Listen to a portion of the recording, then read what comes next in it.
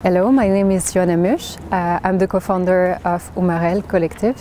Uh, we are based in uh, Paris, France. Our project is uh, the missing dimension.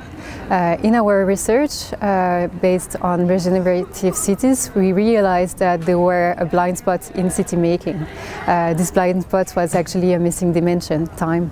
The ambition of the project is to combine time and space with artists, researchers, creators and uh, in order to bring uh, awareness on uh, different perceptions.